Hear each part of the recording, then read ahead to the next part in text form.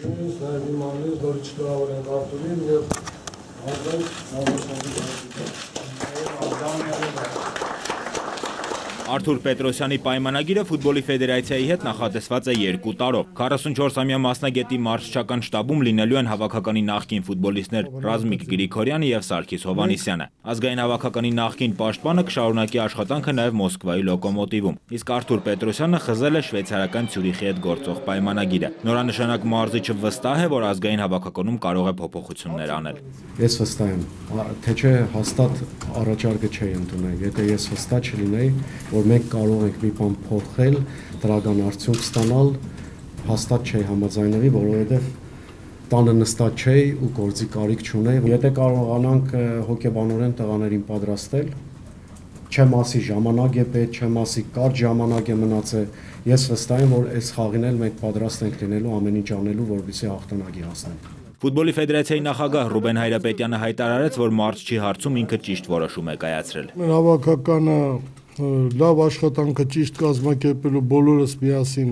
մենք հավաքականի մարզիչին թեւուտիկուն աջակցելու դեպքում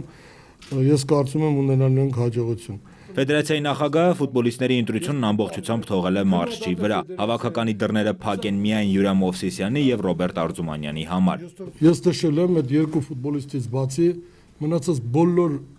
իրավունքը մարզիչինն է։ Ոչ ես միջամտում եմ, ոչ խառնում եմ, ոչ էլ բայց Ես ուզում եմ ասել, ցանկացած ժամանակ, եթե ես տեսնեմ, կարող անեն սխալ անի մարզիչը, ես պարտադիր պետքա խառնվեմ, նույնիսկ հրաապարակորեն կհայտարարեմ, որ այս այս բաները չի կարելի անել, որովհետև պատասխանատուն ամենագլխավորը ես եմ ազգային հավաքականի։ Արթուր Պետրոսյանն արդեն ունի հավաքականի խաղի վերաբերյալ իր պատկերացումները։ Առաջին փորձությունը կլինի նոյեմբերի 11-ին։ Ես իհարկե մեր խաղային սխեման իմ գլխում արդեն ունեմ։ Այդ պետք է, բայց այդ պետք է քայլ առ քայլ փորձենք ներդնել, որովհետև եթե փորձենք բոլոր խնդիրները կամ բոլոր հարցերը